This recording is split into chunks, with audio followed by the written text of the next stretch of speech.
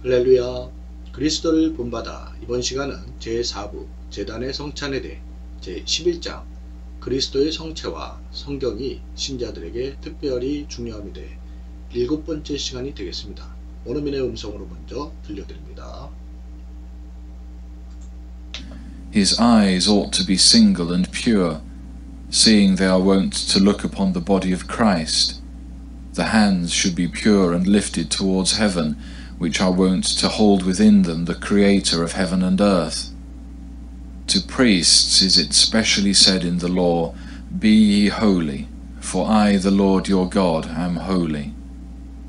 Leviticus 19, verse 2. 자, 여기까지 오늘 묵상할 내용입니다. His eyes 여기서 his는 어, 제사장 사제를 가리키죠. 그의 눈들은 ought to be single. ought to는 뭐뭐 해야 한다 라는 뜻의 조동사죠. single은 여기서 이제 고체에서 에, 특별한 우수한 이런 뜻이에요. 그래서 에, 그의 눈은 특별하고 and pure 어, 순결해야 한다. Seeing they are want to look upon the body of the Christ. 아, 자, seeing 자, 자, 다음을 보건대 하는 분사로 되어 있죠. 자, 그것들이 즉 어, 사제들의 눈들이 아, want, want는 이제 뭐뭇의 습관인 이런 뜻이에요. 그래서 그리스도의 몸을 본다는 것을 볼 때 이런 얘기죠.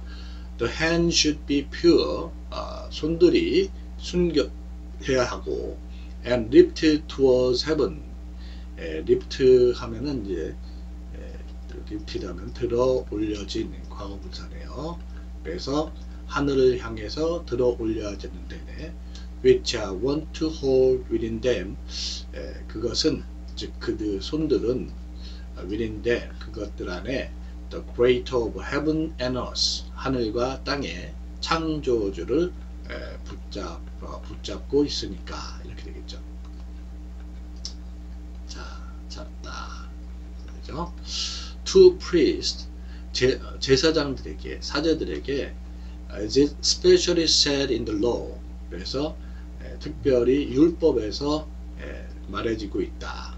특별히. 그래서 어, 뭐냐면 be ye holy. 너희는 거룩할지어다. for. 왜냐면 I the Lord 나 여호와가 어, 너희 하나님 나 여호와가 God am holy. 거룩하니까.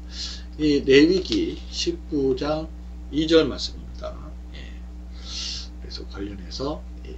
이렇게 사제는 어, 사제의 눈은 순수하고 사제의 손은 거룩하고 어, 이래야 된다는 얘기가 되겠죠. 예. 자 오늘 하루도 온전히 주님과 동행하시는 복된 하루 되시기를 기도합니다. 수고하셨습니다.